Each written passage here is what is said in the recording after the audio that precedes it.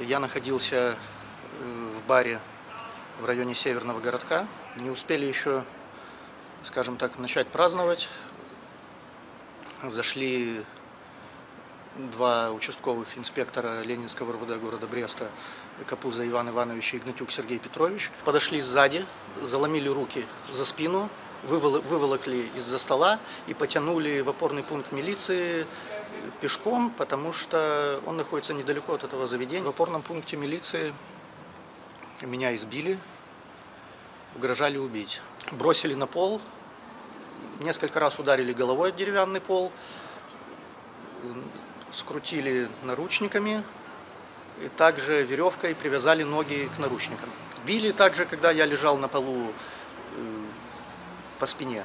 После этого Игнатюк меня, скажем так, грубым словом, выволок на улицу из здания опорного пункта милиции, брызнул баллончиком в лицо. Реально испугался за свое здоровье и жизнь. Я решил позвонить матери, которая в течение минут 20 приехала в опорный пункт милиции.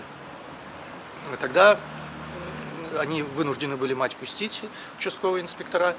Избиение прекратили, но составили административный протокол по статье 17.1 якобы за хулиганство в квартире, по которому суд Ленинского района города Бреста меня оправдал. Причиненные мне телесные повреждения, побои, это было и визуально видно на лице, рука болела, опухшая была, лоб был разбит, ссадины были, это все подтверждается судебно-медицинской экспертизой. Прощать этих людей, Капуза Игнатюка, я не собираюсь. И учитывая еще тот факт, что э,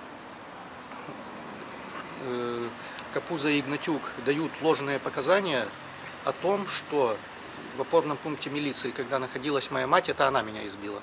Это тоже есть в официальном ответе Следственного комитета.